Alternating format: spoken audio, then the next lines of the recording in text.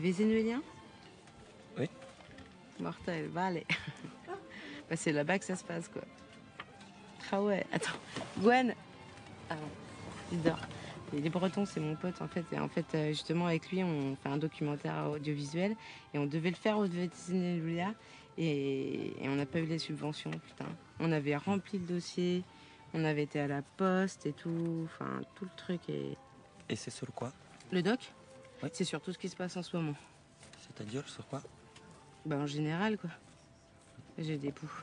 Parce qu'en fait, nous, on est dans une démarche euh, anti-vie non violente. Et on est contre la malbouffe aussi.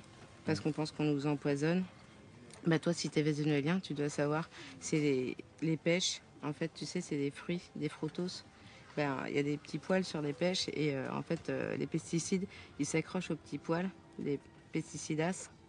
Et si tu bouffes la pêche avec la peau, euh, tu peux choper la ménopause.